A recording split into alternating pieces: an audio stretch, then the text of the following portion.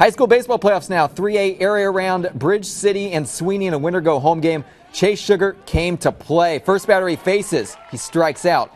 Could the second batter do any better? Well, he doesn't even swing. Ross Nairn goes down looking.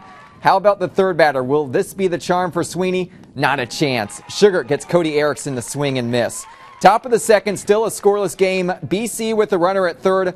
Blake Pruitt to deep left field. It's going to drop. Ashton Hunter scores, and just like that, it's 1 0 Bridge City. Later in the inning, more offense. Jonah Watts right here with an RBI single to right field. Bridge City wins 9 0 to advance to the regional quarterfinal round. Chase Sugar ended up tossing a no hitter today. Very impressive.